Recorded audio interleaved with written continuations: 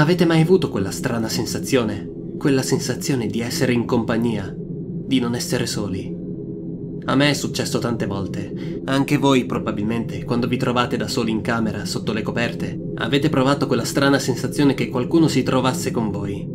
Che qualcuno vi stesse osservando. Mentre un brivido gelido vi attraversa il corpo, per poi costringervi ad accendere la luce o guardare sotto il letto per sentirvi sicuri. Quello che sto per raccontarvi tratta proprio di questo, di questa sensazione antica ed irrazionale che ci portiamo dietro fin da quando siamo bambini. Prima però vorrei presentarmi. Mi chiamo Jim e vivo in una cittadina nei pressi di Boston. Fin da bambino ho sempre usato la mia immaginazione. Disegnavo personaggi a cui davo personalità distinte che diventavano dei piccoli compagni di giochi. Non ho mai avuto molti amici, perciò molti di quei personaggi diventavano dei veri e propri amici immaginari. Inoltre, sono sempre stato un amante dei cartoni animati. Infatti, da bambino il mio sogno era quello di diventare un animatore. Dopo aver conseguito un attestato, iniziai una piccola esperienza come animatore indipendente, lavorando principalmente nel campo delle pubblicità e del materiale multimediale ad uso ricreativo ed informativo. Pur facendo largo uso di tutte le tecnologie necessarie per realizzare le animazioni in 3D, preferivo sempre l'animazione tradizionale, come quella del passato. Le matite, le tempere, gli acquarelli e i rodovetri. Per me l'animazione computer, pur essendo più comoda e meno dispendiosa di risorse, la reputavo senza anima. Nel 2011 venni a sapere che due programmatori canadesi avevano iniziato un progetto realizzare un videogioco animato interamente realizzato a mano e ispirandosi all'animazione degli anni 30, che tra l'altro è sempre stata la mia preferita e quella che mi ha ispirato di più. Del progetto però non si seppe più nulla, era un vero peccato. Ma nel 2013 iniziarono a circolare delle immagini a riguardo e ne rimasi sbalordito. Si chiamava Cuphead e aveva come protagonisti due ragazzini con la testa a forma di tazzina il gioco non era solo un riferimento ai color classics di Max Fleischer, ma anche un omaggio ai comicolor della Metro Goldwyn Mayer, ai Merry Melodies, ai Silly Symphonies e a tutti i cortometraggi animati che dominarono il periodo prebellico. Inoltre si vociferava nella community videoludica che sarebbe stato uno dei giochi più impegnativi mai realizzati. Non avrei aspettato un giorno di più, dovevo averlo. Ma i giorni passarono, e anche anni, e del gioco nessuna traccia. Ogni giorno accedevo al sito dello studio MDHR, la casa di produzione del titolo, ma ogni volta che usciva qualcosa di nuovo erano solo aggiornamenti che riguardavano la produzione del gioco. Non potevo aspettare. Nel 2017, finalmente, il gioco uscì. Me lo procurai in men che non si dica. Lo adorai fin da subito, poiché era proprio quello che amavo di più. Animazione tradizionale, vera animazione, come quella dei vecchi tempi. I tempi in cui gli artisti erano disposti a tutto pur di vedere realizzati i propri sogni animati. Tempi in cui all'animazione veniva data una cura che oggigiorno risulterebbe dispendiosa.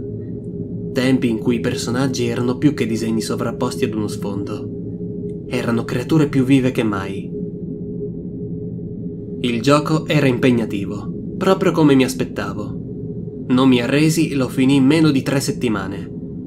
Dopo averlo terminato, lo ricominciai ancora, cercando di completare anche la modalità estrema e la modalità pacifista, ossia senza colpire nessun nemico. Alla fine riuscii a terminare tutte le missioni. Mi ci volle un po', ma non potete immaginare la mia soddisfazione. Lo avevo completato tutto, avevo sbloccato ogni modalità e collezionato ogni potenziamento. Divenni un fan sfegatato di Cuphead, al punto che mandai il mio curriculum agli sviluppatori lo studio MDHR.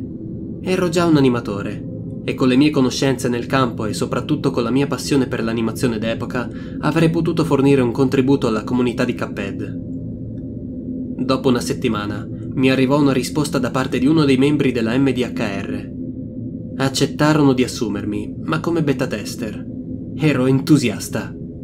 Non avrei fatto parte del comparto artistico, ma andava bene anche così. Ora ero un membro della MDHR. Il mio lavoro consisteva però in prove sporiadiche di alcuni livelli, che sarebbero stati usati per dei componenti aggiuntivi pubblicati nei prossimi mesi. ma era comunque fantastico. Una sera, durante una chat con alcuni membri della MDHR, uno dei responsabili del comparto tecnico ci spifferò che i fondatori avevano trovato un nuovo nemico per un probabile sequel di Cuphead. Era fantastico. Ma chi poteva essere? D'altronde, chi poteva essere più cattivo del diavolo? Spensi il computer ed andai a letto. Ero proprio curioso di sapere che cosa avesse architettato il dipartimento artistico della MDHR. Era sabato mattina e come sempre mi diressi in cucina a prepararmi una buona tazza di caffè espresso. Sono sempre stato un amante del caffè e non posso farne a meno, soprattutto durante il lavoro. Mentre preparavo il caffè, sentì un rumore in camera mia. Uscì dalla cucina e mi diressi nella mia stanza. Il computer era acceso. Assurdo. Possibile che io l'abbia acceso senza accorgermene. Probabilmente sì, d'altronde mi succedeva sempre, soprattutto con le azioni di routine. Ritornai in cucina. La caraffa gorgogliava. Spensi il gas e finì di prepararmi il mio caffè mattutino.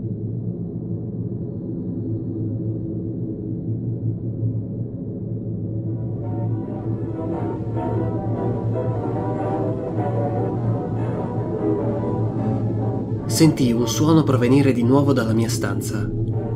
Ritornai di nuovo davanti al computer, con la tazza di caffè in mano. Mi accorsi con stupore che il mio computer aveva avviato Cuphead, senza il mio intervento. Mi avvicinai allo schermo. Cuphead e suo fratello Magman dondolavano a destra e sinistra come al solito, ma la schermata era grigia. Avevo per caso lasciato la modalità in bianco e nero attivata? Un'altra cosa che mi sorprese era l'audio. Non ricordava il corretto iniziale, sembrava più un brano d'altri tempi distorto, come se fosse stato registrato in un vinile rotto.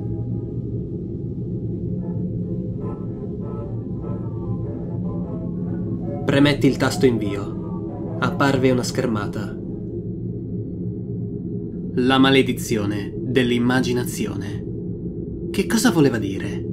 Era per caso un livello nuovo? Non ricordo di aver fatto il test di un livello del genere. In ogni caso il mio scopo era di testare le beta, quindi mi toccava iniziare. Mi ritrovai in una specie di paesaggio che ricordava il primo livello run and gun, quello in cui dovevi correre e sparare i fiori che ti venivano addosso. Solo che non c'era nessuno. Nemmeno la musica non c'era. I colori dello sfondo erano cupi, spenti. Inoltre mi accorsi che Caped stava tremando.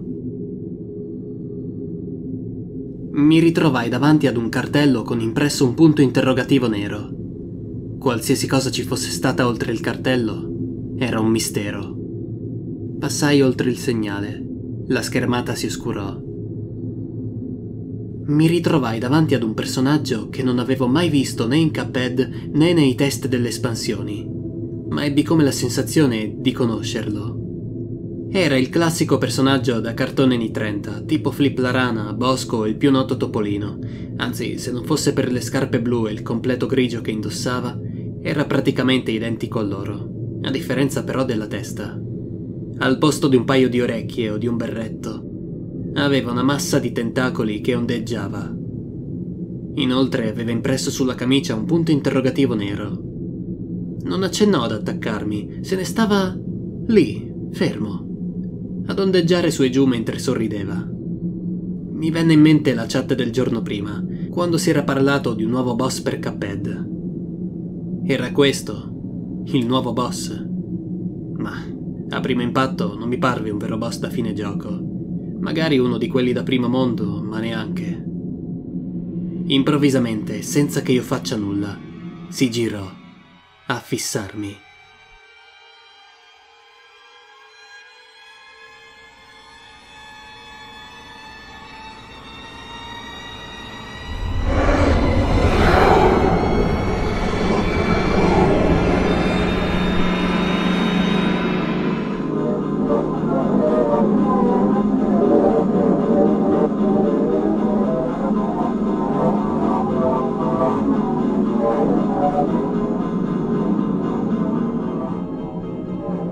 Credevo ai miei occhi. Si era trasformato in un'imponente massa tentacolare, con due occhi enormi che fissavano Cuphead. Allora era un boss. Qualunque boss fosse, avrei dovuto sconfiggerlo. Mi rimboccai le maniche, trangugiai il caffè e mi preparai alla battaglia. Iniziai a colpirlo, ma tutti i miei colpi venivano assorbiti dalla massa tentacolare. Era praticamente invincibile. Ad un tratto la massa tentacolare si contrasse.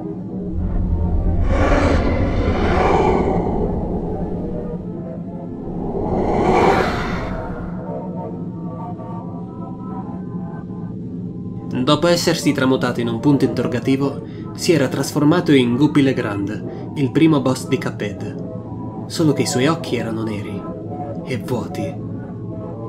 Era questa allora la sua abilità, tramutarsi in ciò che vuole.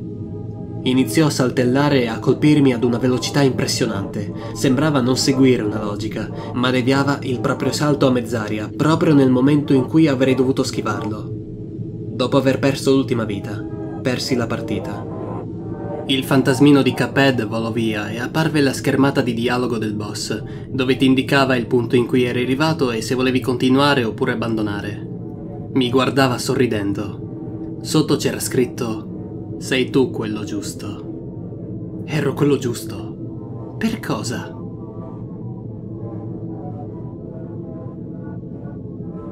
Riprovai di nuovo. Appena mi avvicinai al boss, lui si trasformò immediatamente nella creatura mostruosa. Rimase lì, coi tentacoli che ondeggiavano e gli occhi che fissavano Cuphead. Questa volta si trasformò nel boss della patata che ti sputava il terriccio. Anche questo boss non aveva più gli occhi, come se fosse morto. Mi lanciò una raffica di colpi che non avrei mai potuto evitare e morì subito. Mi disse, sono un dio esterno. Un dio esterno? Cos'è un dio esterno? Questa volta si trasformò in Kanye Carnation, il boss di Floral Fury. Gli occhi. Perché erano vuoti? Che cosa significava? Il fiore si trasformò subito nella sua forma finale e riempì il suolo di rampicanti spinati. Riuscì ad effettuare qualche salto ed infliggere qualche danno, ma era impossibile sconfiggerlo. Morì nel giro di una manciata di secondi. Disse, sono antico quanto il cosmo stesso. Curioso. Tuttavia non avevo ancora capito che tipo di nemico fosse e a quale personaggio si riferisse. Riprovai, un'ultima volta. Ero abituato alla difficoltà di Cuphead, ma questo era davvero troppo. Probabilmente era parte di un'espansione e non avevano settato bene la difficoltà. Mi avvicinai. Lui era lì, nella sua forma primaria, intento ad ondeggiare su e giù. Questa volta si trasformò in Wally Warbles. Era insolito, poiché era il boss di un livello sparatutto a scorrimento orizzontale, quindi era strano ritrovarlo qui. Iniziò a sputarmi le uova a raffica e cercai di evitarle. Gli sparai a più non posso. Avrei voluto equipaggiare il boomerang, che è una delle armi più forti, ma per qualche ragione non potevo. L'unica arma che potevo usare erano i proiettili semplici, la prima arma. Resistetti una ventina di secondi, poi morì. Era frustrante e sarebbe stato impossibile batterlo. Una cosa era certa, sarebbe stato un buon boss per Cuphead, per quanto difficile. Ridisse, sei tu quello giusto. Che cosa significava? Decisi di uscire dal gioco, ma mi resi conto che non potevo né tornare alla mappa principale né terminare la partita. Premetti il tasto ESC diverse volte. Inutile. Fui costretto a spegnere il computer tenendo premuto il tasto d'avviamento. Lo schermo si spense. Assurdo. Non solo era ultra difficile, ma aveva anche questo bug. Avrei dovuto informare gli altri beta tester se avevano avuto lo stesso problema e soprattutto se avevano già usato questa beta. Riavviai il computer. Ero tentato di ricercare di nuovo la beta, ma non sapevo né come si chiamava né dove era stata installata. Inoltre, era assurdo che fosse partita automaticamente, senza il mio permesso. Entrai nella chat riservata e pubblicai un messaggio a riguardo. Non mi rispose nessuno. Dopo una decina di minuti, qualcuno mi rispose ma disse di non saperne niente. Probabilmente avevo avuto a che fare con una versione hackerata del gioco e nulla di più. Strano. Sì, avevo sentito storie di ragazzini che si ritrovavano senza volerlo a usare vecchi giochi modificati da presunti hacker misteriosi. Ma quelle erano solo storielle da internet. Quello con cui avevo a che fare era un boss vero e proprio, con animazioni, suoni e tutto. Chi poteva aver mai realizzato una versione così? E se fosse davvero il boss di cui parlavano alla MDHR? Spensi il computer e mi preparai per uscire. Verso il tardo pomeriggio tornai a casa. Avevo pensato tutto il tempo col boss. Entrai in camera mia. Il computer era spento. Mi sedetti. Non feci in tempo a premere il pulsante d'avviamento, che lo schermo si accese. Apparve la schermata iniziale di Cuphead. Questa volta non si muovevano. Ora erano tristi e lo sfondo era più scuro rispetto all'ultima volta. C'era qualcosa che non quadrava. Era come se qualcuno volesse che giocassi. Provai a spegnere il computer, ma non obbedii. Non potevo fare altro che ricominciare a giocare. Mi ritrovai subito nel livello. Questa volta i colori erano scomparsi e l'atmosfera era più opprimente e oscura. Sentii dei frusci di sottofondo mi venne l'idea di effettuare qualche screenshot. Così facendo avrei fatto vedere tutto agli altri beta tester. Mi incamminai, trovai il cartello con il punto interrogativo e lo attraversai. Il boss era lì davanti. Feci quattro screenshot.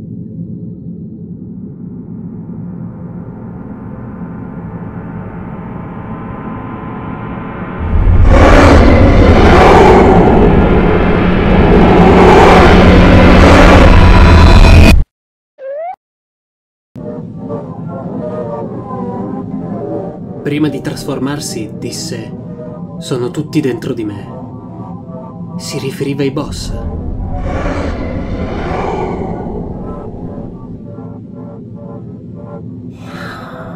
Si tramutò nell'ape regina. Iniziò a lanciarmi subito le sfere magiche.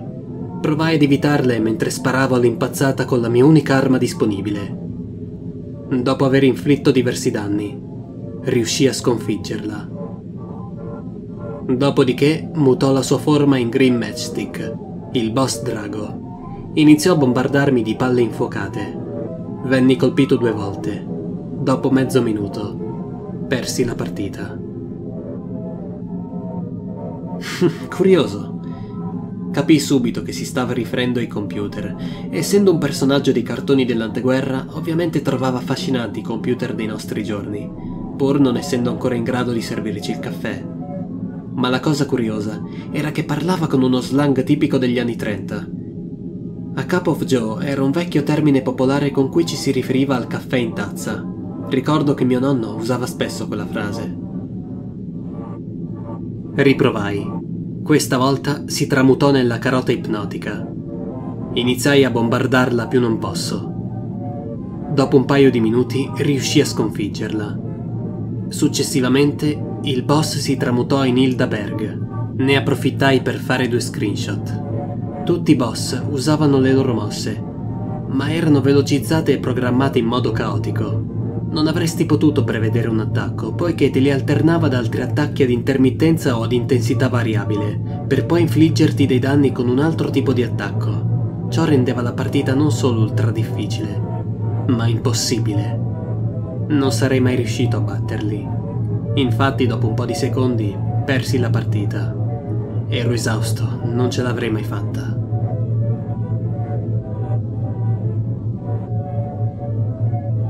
Sbarrai gli occhi.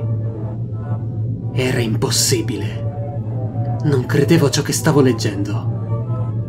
Guardai sulla destra del tavolo, accanto al mouse. C'era la tazza del caffè che avevo bevuto la mattina. Non poteva essere vero. Era assurdo. Sì, ne sono un amante, ma vi posso giurare che non avevo mai scritto da nessuna parte una cosa del genere. Mai prima d'ora. Né sul computer né online. Rimasi lì, impietrito per diversi secondi. Cercare di uscire dal gioco non avrebbe funzionato, così spensi il computer manualmente. Rimasi lì davanti allo schermo vuoto, poi lo riaccesi. E se fosse partito il gioco? Invece, con mia fortuna, potei effettuare normalmente l'accesso con il mio account. Attesi un minuto, poi andai alla ricerca degli screenshot. Li trovai nel desktop, in una cartella senza nome. Guardai all'interno della cartella. Alcune immagini erano sfocate, altre invece raffiguravano solo un punto interrogativo bianco. Solo un'immagine raffigurava qualcosa di concreto. Era una vecchia locandina che promuoveva un cartone animato. Sotto c'era il boss, che sorridendo presentava il titolo del cortometraggio, The Curse of Imagination, realizzato dalla Deepwell Studios. Sarebbe stato trasmesso a maggio del 1930 presso il teatro di Pittsfield in Massachusetts. Sopra notai che lo studio si trovava nei pressi di Prescott, nella contea di Hampshire. Spensi il computer. Mi massaggiai la fronte. Tutto questo era assurdo. Ma dovevo far luce sulla faccenda. Decisi che, il giorno dopo, sarei andato a cercare quello studio e trovandosi nell'Hampshire ci avrei messo circa due ore. Iniziai a preparare lo zaino con tutto l'occorrente per il viaggio, una torcia, una macchina fotografica, il navigatore satellitare e una penna con taccuino, mi avrebbe fatto comodo in caso dovessi memorizzare delle informazioni utili. Senza dimenticare il cellulare con caricabatteria e documenti vari per il viaggio. Chiusi lo zaino. Avevo questa strana sensazione, una sensazione che qualcosa di sinistro attendeva il mio arrivo. Si era fatto tardi, mi preparai per la notte ed andai a letto. Dopo un paio di ore, riuscii ad addormentarmi.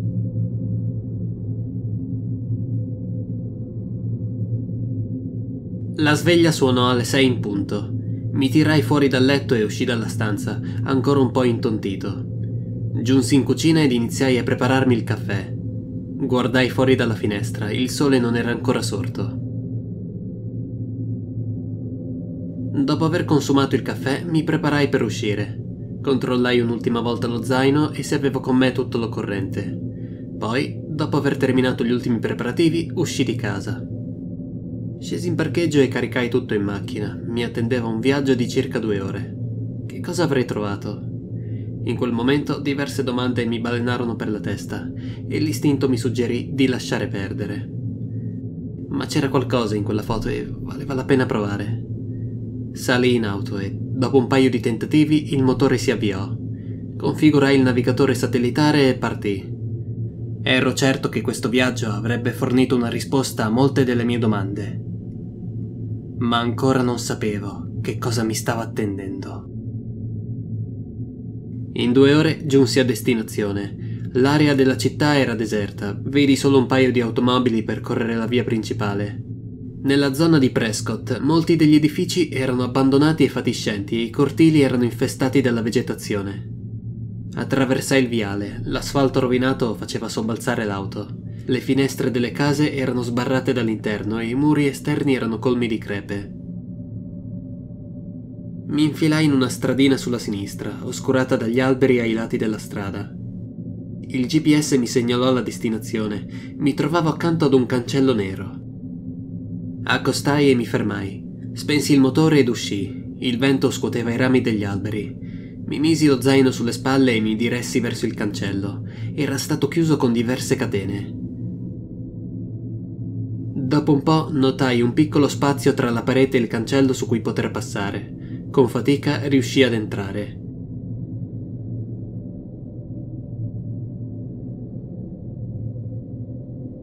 Il vento spostava le foglie per tutta l'aria. La vegetazione era cresciuta alta e selvaggia. Attraversai il viale. Infine giunsi davanti a un grande atrio. Davanti a me un grande edificio fatiscente. Le crepe si estendevano fino al tetto. Alcune finestre erano sbarrate dall'interno, altre invece erano andate in frantumi. Improvvisamente, il vento smise di soffiare e gli uccelli si acquietarono. Sentì un cigolio.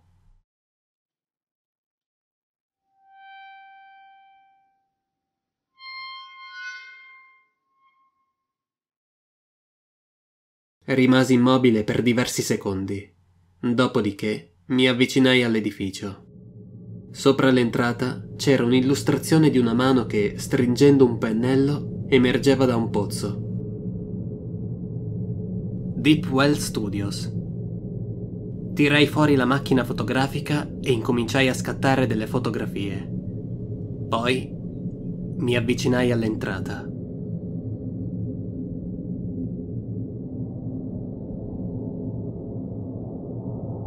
Mi trovai davanti ad un corridoio. Mi sorprese che il luogo non era stato né saccheggiato né vandalizzato in alcun modo. Chiusi la porta, voltai a sinistra ed entrai nell'aula da disegno 1. C'erano dei banchi da disegno, tutti allineati ordinatamente. La luce proveniente dalle fessure delle travi di legno inchiodate alle finestre mi permetteva di orientarmi. Notai che sotto ogni banco da disegno c'era uno scompartimento. Sollevai la superficie del banco. Il legno era marcito e bucherellato. Guardai all'interno dello scompartimento e sbarrai gli occhi. Mi trovai davanti a decine e decine di schizzi che raffiguravano lui, in diverse pose. I fogli erano ingialliti e rovinati dall'umidità. Sotto ogni foglio c'era scritto Toby S. puntato, pose numero 7. Toby. Quindi era così che si chiamava. Tutto era assurdo, ma ciò significava una cosa. Ero nel luogo giusto. Scattai delle fotografie ad ogni foglio e chiusi lo scompartimento. Non resistetti alla tentazione. Lo riaprì di nuovo e mi portai via un paio di fogli. Probabilmente a nessuno avrebbe importato, visto che si trovavano lì da quasi 90 anni. Mi sorprese che, a distanza di così tanto tempo, il contenuto dei fogli fosse ancora visibile. Richiusi di nuovo lo scompartimento e controllai negli altri banchi da disegno. In tutti c'erano praticamente gli stessi disegni, alcuni ancora visibili ed altri rovinati e sfocati. C'erano ancora delle bottigliette di inchiostro e delle confezioni di sigari, ma il contenuto era totalmente marcito e dei sigari era rimasto solo un ammasso di rimasugli. Le bottigliette di inchiostro però sembravano ancora integre, ma le etichette erano ingiallite ed illeggibili. Richiusi il banco ed uscì dalla stanza. Mi guardai attorno, i miei passi riecheggiavano per tutto l'edificio. Voltai a destra, mi ritrovai nell'aula registrazioni. Inizialmente mi parve di trovarmi in un salone d'antiquariato musicale. Era pieno di strumenti di tutti i tipi, corni, tube, tromboni, percussioni e anche due pianoforti verticali. Inoltre, appesi ai muri c'erano una moltitudine di oggetti metallici, probabilmente impiegati dall'industria di cartoni dell'epoca per produrre alcuni tipi di suoni. Mi avvicinai ad un pianoforte e battei un paio di tasti. Le corde stridettero e il piano emise un suono cupo e disarmonico. Sentì un fruscio. Mi girai di scatto. Mi guardai attorno. Lo sguardo mi cadde su una specie di mobile contro il muro. Mi avvicinai, era un giradischi. Lo capii dalle varie manopole e pulsanti sulla superficie. Aprì il vano lettura. C'era un disco in vinile. Lo estrassi, era di un tale chiamato Jelly Roll Morton. Girando lo sguardo, notai che su un tavolino erano presenti una decina di copie identiche. Mi venne la tentazione di accendere il giradischi e ascoltare il disco, poi mi resi conto che sarebbe stato inutile, visto che era altamente improbabile che l'impianto elettrico dell'edificio fosse in funzione. Uscì dalla stanza e attraversai il corridoio. Mi avvicinai ad una porta, era la sala del direttore. A differenza delle altre stanze, questa era stata rovistata da cima a fondo. C'erano diverse orme per terra e i cassetti erano aperti.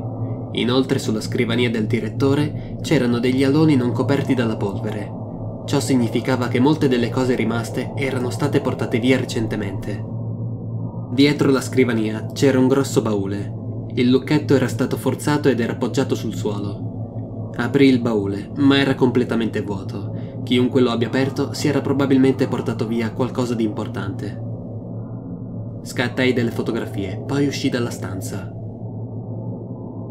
Continuai la perlustrazione, scattando delle foto di tanto in tanto. Mi ritrovai davanti a delle scale che mi avrebbero portato al piano inferiore. Scesi giù e mi ritrovai in una stanza immersa nell'oscurità. Tirai fuori dallo zaino una torcia e illuminai la stanza. Ero in un deposito. C'erano numerosi contenitori contenenti bobine da 16 mm, impiegate durante gli anni 20 dalle industrie cinematografiche. Inoltre c'erano diversi scaffali colmi di inchiostri, carta, utensili e solventi vari. Mi guardai attorno, illuminando e perlustrando ogni angolo della stanza. Sollevai la torcia e mi ritrovai davanti ad un'entrata scavata nel muro. Entrai all'interno. Le ragnatele rivestivano le pareti. Mi ritrovai in una caverna. Le pareti di roccia si innalzavano fino al soffitto, rivestito di stalattiti calcaree che ricordavano dei denti affilati.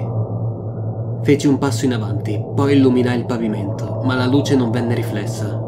Allora indietreggiai e mi resi conto di trovarmi davanti ad un'enorme voragine. Aumentai l'intensità della torcia, ma pur avendo impostato l'apparecchio alla massima potenza, non riusciva comunque ad illuminarne il fondo.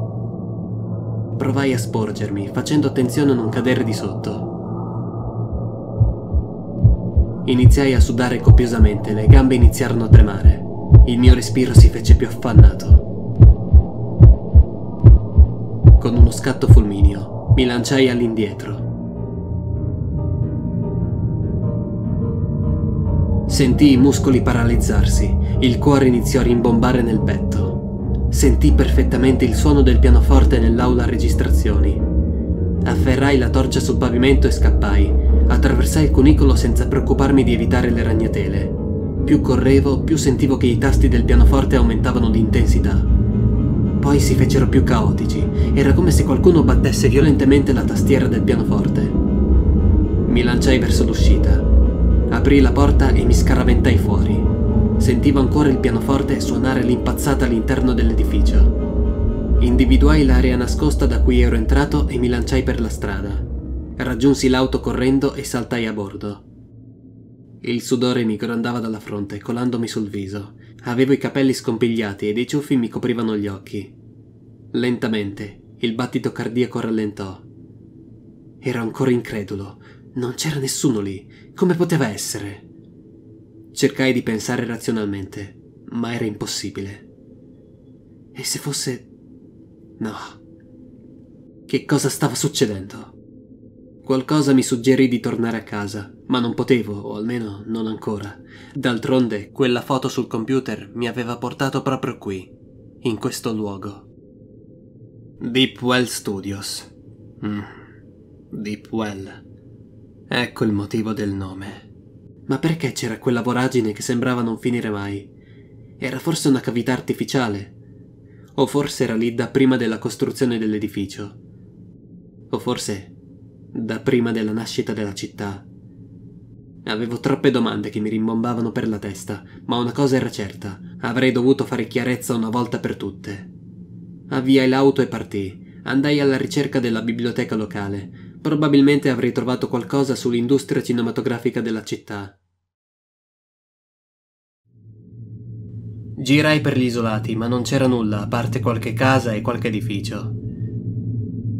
Finalmente la trovai. Era un edificio rosso dall'aspetto vittoriano. Parcheggiai, spensi l'auto ed entrai. All'interno non c'era nessuno, nemmeno alla reception. Andai alla ricerca della sezione storia locale. La trovai, ma molti dei volumi trattavano argomenti che non riguardavano affatto la mia ricerca. Agriturismo locale, personaggi noti della città, eccetera, eccetera. Notai uno scatolone ingiallito su uno scaffale più in alto. Presi una scaletta, raggiunsi lo scatolone e lo tirai fuori. Era colmo di volumi e documenti. Lo poggiai a terra e rovistai al suo interno. Trovai diversi manoscritti realizzati da autori locali. La calligrafia era illeggibile, ma alcune illustrazioni raffiguravano delle creature mostruose simili tra loro. Tirai fuori la fotocamera e immortalai le illustrazioni. Tornai a rovistare all'interno dello scatolone e trovai una busta datata 1935 con su scritto Rapporto sul caso Deep Well Studios.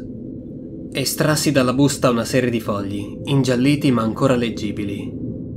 Mi sedetti e incominciai a leggere. Il rapporto era stato realizzato dopo una lunga serie di indagini durate dal 1930 al 1935 e riguardava un inquietante episodio che avvenne presso lo studio di animazione della Deep Well. La Deep Well Studios era uno studio cinematografico indipendente, fondato verso la fine degli anni venti da Anthony Renrov. Costui era un animatore che lavorava per diversi produttori, tra cui Leon Schlesinger, il creatore dei noti Merry Melodies. Ma a differenza dei Merry Melodies, che riguardavano personaggi differenti, la Deep Well voleva realizzare dei cortometraggi con un unico singolo personaggio. La società divenne nota in città poiché tendeva a mantenere la segretezza sulle opere che realizzava e che talvolta trasmetteva presso il cinema locale.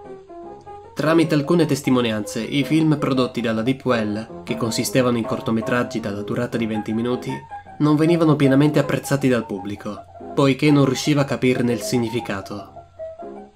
Il rapporto però non cita i contenuti dei cortometraggi. Avrei dovuto cercare qualcuno in città che ne abbia visto qualcuno, ma dubito che molti di loro siano ancora vivi, visto che si parla degli anni venti. Tornai al rapporto.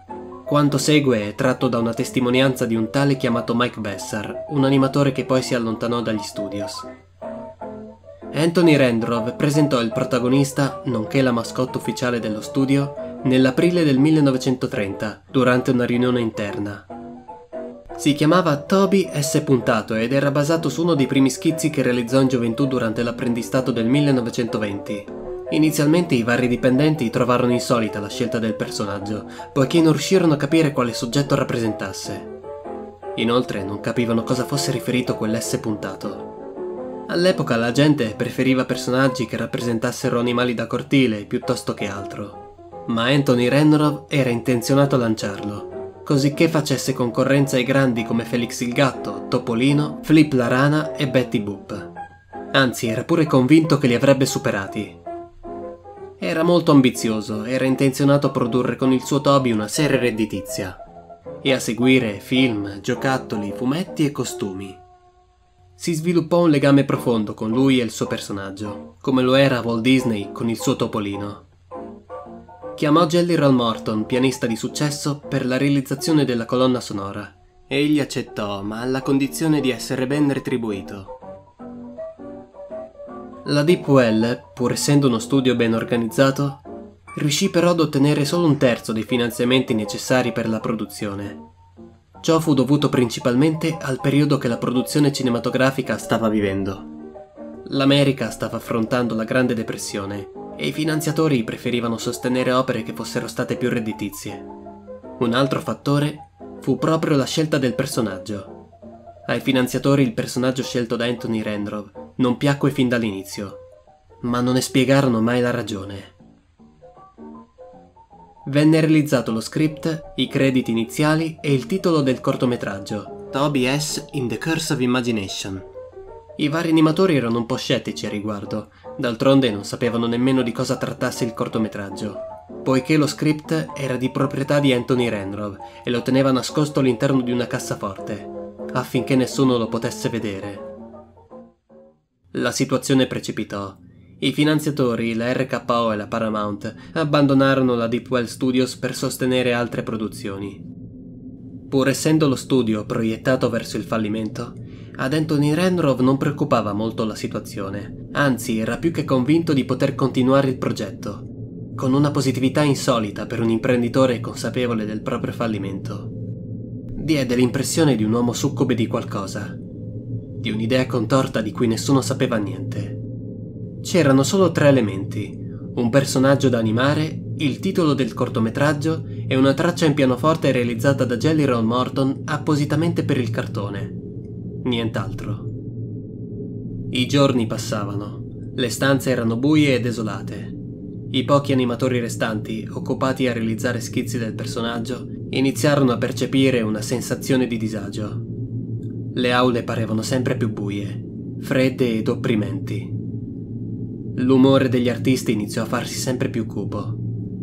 Fu in quel momento che uno degli animatori, l'autore di questa testimonianza, abbandonò lo studio. Tutti gli animatori erano consapevoli che era questione di giorni e la Deepwell avrebbe dichiarato bancarotta. Così decisero anche loro di abbandonare lo studio. Alla fine Rimasero solo sette animatori disposti a collaborare con Anthony Renrov. Una notte le autorità iniziarono ad insospettirsi poiché notarono durante diverse pattuglie notturne che i dipendenti non uscivano più dagli studios. Il 27 maggio del 1930, durante un accertamento, le autorità trovarono all'esterno degli studios una donna di colore, con gli zigomi rigati dalle lacrime e il terrore impresso sul volto. Venne identificata come Holly Farwell, addetta alle pulizie degli studios. Due agenti fecero irruzione negli studios, ma non trovarono nessuno. Le aule erano vuote e buie.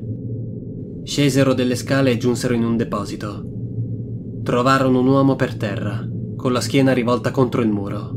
L'uomo aveva gli occhi sbarrati, il volto era pallido e contratto in un'espressione d'orrore. Sulla camicia aveva impressa una targhetta riportante il nome Paul Kauman, addetto animazione. Aveva lo sguardo rivolto verso un'entrata scavata nella roccia immersa nell'oscurità. Gli agenti entrarono all'interno e si trovarono davanti ad una voragine. Provarono ad illuminarne il fondo, ma l'oscurità assimilava la luce, impedendone la visione. Giunsero tutti gli agenti di pattuglia, i medici e la sezione investigativa, per verificare la dinamica dell'accaduto. Tutti i giornali del giorno seguente riportarono in prima pagina la notizia. Il caso fece il giro della nazione Anthony Renrove e sei animatori erano scomparsi nel nulla e non furono mai più ritrovati. L'addetto rimasto, nel frattempo, venne trasferito presso l'ospedale della città, in stato catatonico. La polizia provò ad interrogarlo più volte. Dopo quattro settimane, ritornò a parlare. Farfugliava frasi incomprensibili, continuando a fissare il vuoto. Le uniche cose che compresero furono scomparsi, voragine e abisso. Un'equipe specializzata aveva già effettuato diverse ispezioni all'interno di quella voragine, ma la missione costò la vita di un membro dell'equipe, scomparso sul fondo dell'abisso. La voragine era una cavità naturale che scendeva giù per decine di metri fino a un giacimento d'acqua dalla profondità ignota. A causa della rischiosità della missione, il caso venne archiviato e l'edificio venne chiuso definitivamente. Rimisi il rapporto all'interno della busta di carta. Rimasi lì a contemplare la luce che penetrava dalle finestre. Mi vennero in mente quelle storie che sentivo da bambino. Case infestate, vampiri e fantasmi. Quelle erano storie. Storie tramandate da generazione in generazione per spaventare i bambini. Ma qui è diverso. Non so neanche da dove cominciare. Mi è difficile pure parlarne. Deep Well. Quella voragine. Che cosa c'è in quella voragine? Difatti, appena mi ero avvicinato, il pianoforte aveva cominciato a suonare da solo, come fosse uscito da un film. Cercavo di pensare logicamente, ma non potevo, dopo quello che avevo visto. Avevo a che fare con qualcosa di antico, di oscuro. Mi alzai Sapevo già abbastanza. Ora era giunto il momento di terminare questa storia una volta per tutte. Uscì dalla biblioteca. Il sole stava tramontando. Salì in macchina e mi diressi per la via del ritorno. Tornai a casa verso le undici. Poggiai lo zaino a terra e mi misi al computer. Premetti il pulsante d'avviamento, ma il computer non partì. Impossibile. Riprovai diverse volte. Il computer si accese di colpo.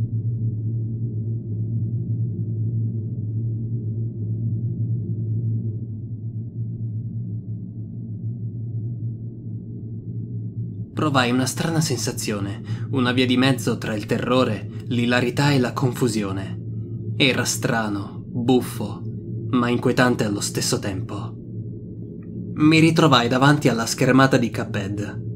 Ma al posto di Cuphead e Magman c'era Toby che simulava i loro movimenti, quasi a tono di scherno. Quando stavo per premere invio, la schermata si spense. Apparve il titolo The Curse of Imagination e la partita iniziò. Questa volta non c'era solo Cuphead, anche Magman era presente. Era impossibile poiché non era connesso alcun controller al computer. E allora, chi era il secondo giocatore? Inoltre non sorridevano. Avevano lo sguardo spento, spaventato, come se fossero consapevoli di cosa stesse succedendo. Iniziai a muovermi verso destra, all'interno del livello. Lo sfondo era tetro e sinistro. Mi trovai davanti ad un buco, con un cartello che puntava verso il fondo. Saltai all'interno del buco. Magmen mi seguì. Mi trovai in un luogo oscuro. Dei punti interrogativi erano impressi sullo sfondo e aumentavano sempre di più. Mi trovai davanti Toby. Ondeggiava su e giù come al suo solito e mi sorrideva. Ad un tratto, senza che io faccia nulla, mi guardò.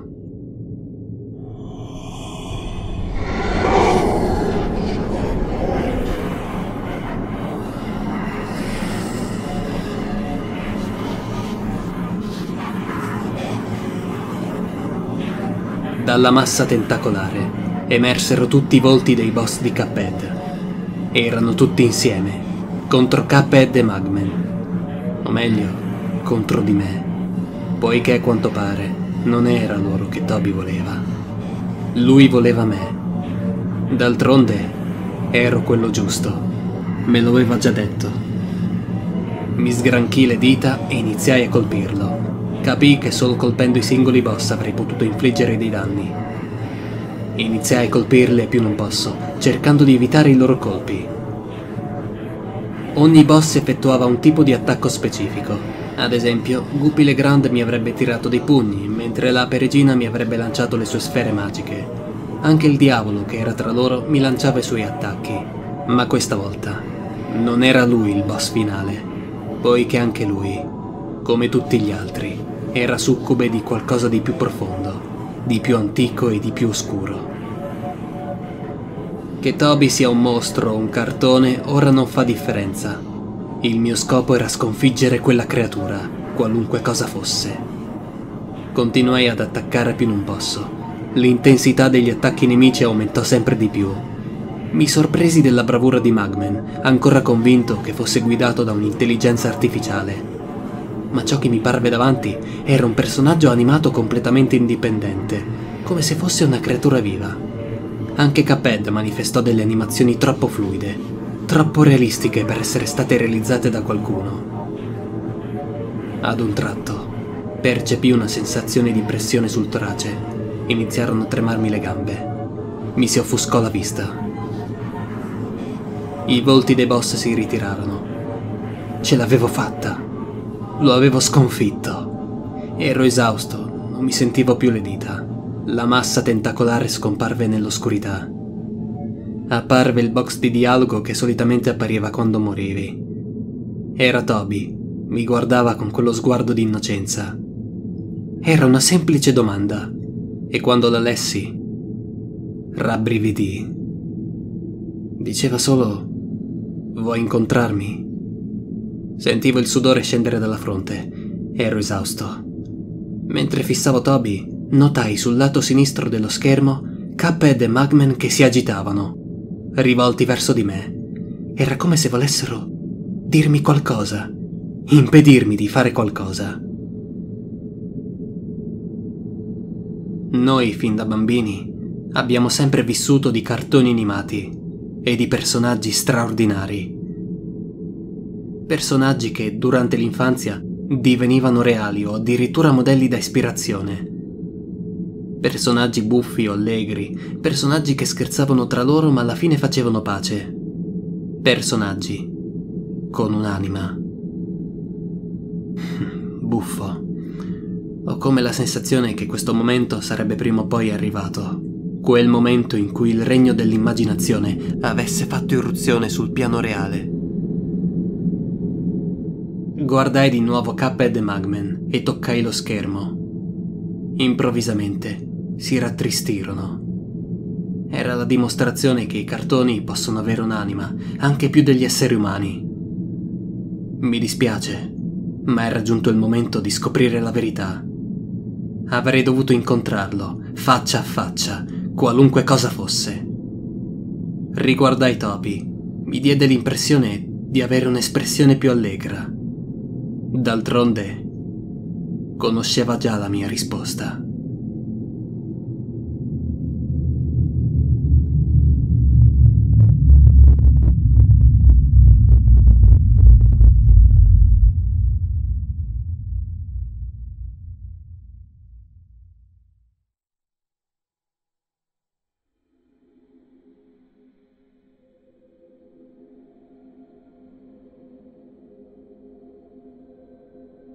Riaprì gli occhi. Ero per terra, con il volto rivolto contro il pavimento. Mi sollevai. Ero nella mia stanza. La luce biancastra penetrava dalla finestra illuminando il letto. Particelle di polvere fluttuavano nell'aria. Mi guardai attorno, tutto era freddo, spento. I mobili, la credenza e i disegni appesi alla parete erano grigi. Sollevai le braccia e mi guardai i palmi delle mani. Anch'essi non avevano più colore. Mi avvicinai alla scrivania. Il computer, la tavoletta grafica, le cuffie e tutto il resto erano coperti da uno strato di polvere. Che cosa stava succedendo? Aprì la porta. I cardini cigolarono. Era come se non fosse stata aperta per anni. Uscì dalla mia stanza e mi diressi in cucina. Tutto era coperto dalla polvere e i colori erano scomparsi. Sembrava di essere in un sogno. Mi avvicinai alla finestra e guardai fuori. Cercai di aprirla, ma era bloccata. Con un colpo secco, sbloccai i cardini arrugginiti e la aprii. La volta celeste si estendeva all'infinito e sotto di essa sovrastava un abisso scuro e senza fondo. Mi allontanai di scatto dalla finestra. Dove diavolo ero? Mi avvicinai all'uscita dell'appartamento. Aprì la porta. Le scale erano crepate e le ringhiere erano arrugginite. Non sentì nessun rumore provenire dagli altri appartamenti. L'intero edificio era disabitato. Scesi giù per le scale. Mi avvicinai alla porta d'ingresso e la aprii lentamente Sembrava di stare sospesi nel cielo a chilometri e chilometri di altezza, ma sotto di me non c'era alcun suolo, solo un abisso infinito. Richiusi la porta e mi girai.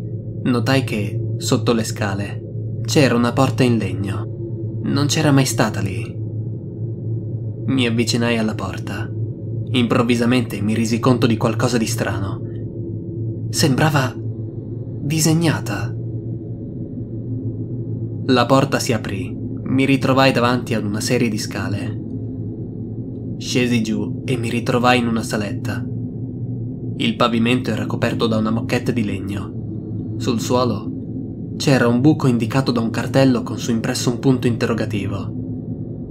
Mi avvicinai al buco e guardai all'interno. Scendeva giù in profondità. Sentii riecheggiare il suono di un pianoforte. Dovevo entrare. Mi sedetti e infilai le gambe all'interno. Poi infilai il bacino. Con l'ausilio delle braccia mi spinsi di sotto e lentamente riuscii a strusciare lungo il buco. Dopo circa tre metri raggiunsi l'uscita. Con un tonfo caddi al suolo. Non riuscivo a vedere niente davanti a me. Mi girai. Vidi sei tavoli da disegno, allineati ordinatamente. Ogni tavolo era illuminato da una lampada c'erano degli uomini intenti a disegnare. Mi avvicinai ad un tavolo. L'uomo stava disegnando, ma ogni volta che tracciava una linea con la matita, questa si cancellava subito dopo, lasciando il foglio sempre vuoto. Smise di disegnare ed alzò lo sguardo. Il suo volto era sfocato, ma capì che mi stava sorridendo. Anche lui aveva perso il colorito della pelle. Poi ritornò a disegnare, tracciando delle linee ondulate sul foglio, che si cancellavano subito dopo. Passai per i tavoli, gli uomini smisero di disegnare e mi sorrisero. Sulla sinistra c'era un giradischi acceso che produceva un brano in pianoforte. Il disco girava lentamente, stridendo di tanto in tanto. Davanti a me vi era un uomo in piedi. Teneva in mano un foglio che sembrava essere uno script. L'uomo mi guardò. Il suo volto era sfocato, ma capì che anche lui mi stava sorridendo. Sulla camicia vi era scritto Anthony Rendrov, produttore esecutivo. Era lui.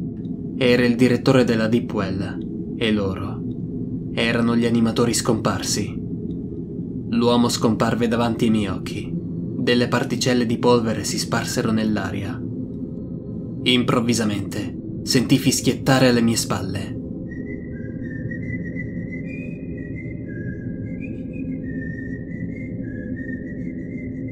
Mi girai. I banchi da disegno, le lampade, gli animatori erano scomparsi nel nulla. Al loro posto c'era Toby, davanti a me. Mi fissava allegramente. Feci un passo in avanti. Rabbrividii.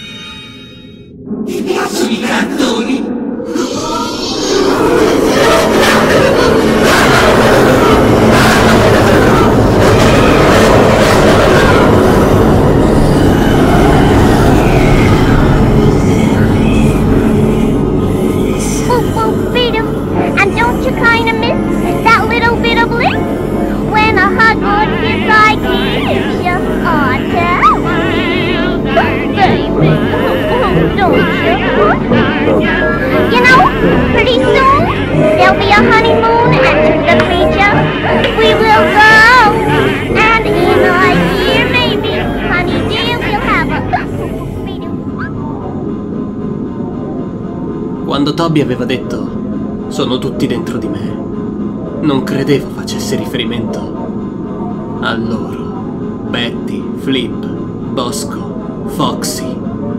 Anche loro erano in trappola. Dovevo liberarli. Ma come? Mi lanciai contro l'enorme massa tentacolare, ma improvvisamente sentì qualcosa stringermi la vita. Un tentacolo mi aveva afferrato e iniziò a stritolarmi. Lo colpì con tutte le mie forze, inutilmente. Era finita. Ero destinato a fare parte di lui. Per sempre.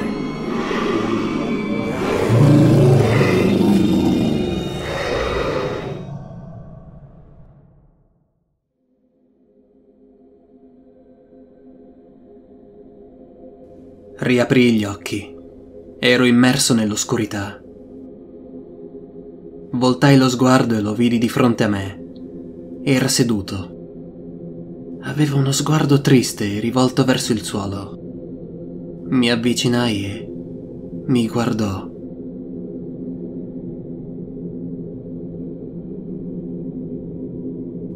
Perché era così triste? Poi capii. Dalla mano degli artisti Molti cartoni hanno preso vita, facendo ridere generazioni di bambini con la loro simpatia. Molti di loro hanno avuto successo, altri invece no, ma sono rimasti nella memoria di tutti. Toby invece non è mai nato. Era solo un abbozzo, un'idea e nulla di più. Ciò che lui voleva era qualcuno disposto a dargli una vita, un'anima, come tutti gli altri cartoni. Sei tu quello giusto. Ecco che cosa significava. Io ero stato scelto affinché mi prendessi cura di lui, ma Anthony Rendrov e tutti gli altri erano ancora qui, in una sorta di limbo. C'era solo un modo per salvarli. Uno scambio. La mia vita. Per la loro libertà. Toby mi sorrise e scomparve nell'oscurità. Sentì un tentacolo avvinghiarsi al mio braccio destro e lo sollevò. Dall'oscurità emerse una mano che reggeva un coltello. Poggiò il filo della lama sul palmo della mia mano. Io annui. Effettuò un lungo taglio sul mio palmo, provocandomi un dolore lancinante.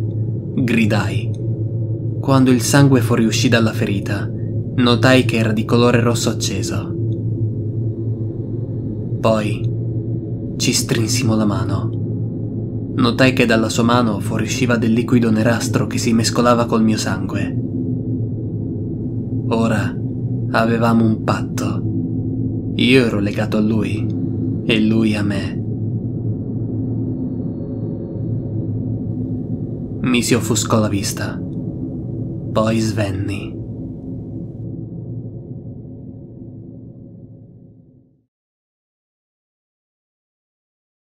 Mi risvegliai. Ero seduto al computer. Probabilmente mi ero appisolato durante il lavoro. Mi alzai e mi stiracchiai. Notai l'orologio della sveglia. Erano le nove del mattino. Notai che il computer era ancora acceso. C'erano Cuphead e Magman. Ah, ora ricordo, dovevo effettuare il test di una beta. Solo che mi guardavano.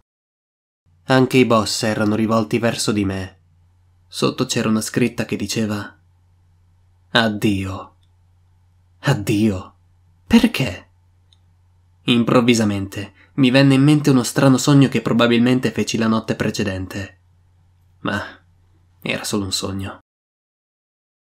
Scesi giù in cucina e feci per prepararmi il caffè. Accesi la radio. Era sintonizzata sul notiziario delle nove. Stando al notiziario, era successo qualcosa nella contea di Hampshire. Sette uomini e un membro di un'equipe di ricerca, scomparsi nel 1930, erano stati ritrovati per strada, in stato confusionale. Le autorità stanno tuttora indagando sull'accaduto. Curioso come accadano certe cose. Guardai di nuovo l'orologio. Si era fatto tardi e se non mi fossi sbrigato sarei probabilmente arrivato tardi per il lavoro. Afferrai la mia borsa da lavoro, presi le chiavi e uscì dall'appartamento. C'era uno strano silenzio. Scesi giù per le scale e aprì la porta d'ingresso.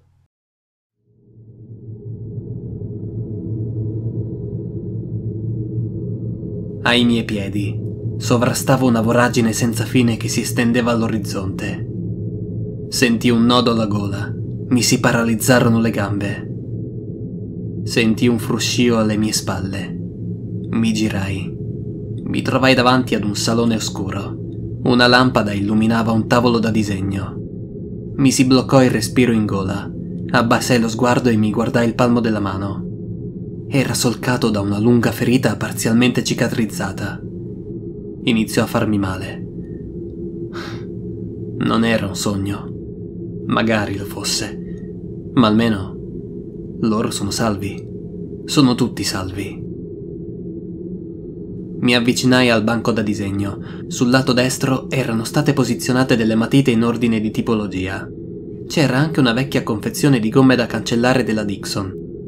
Al centro un grande foglio bianco. Accanto a me un giradischi d'epoca suonava una canzone in pianoforte.